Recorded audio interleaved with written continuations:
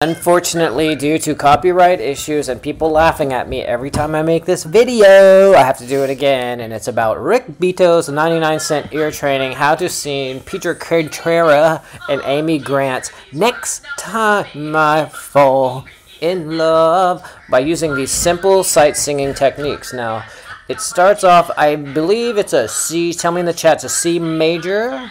Sounds like he's going to the third, fourth, and fifth in this little melody interlude, and they're having a requite. He's telling her, Next time I fall. And he says, Like a rose that never ends.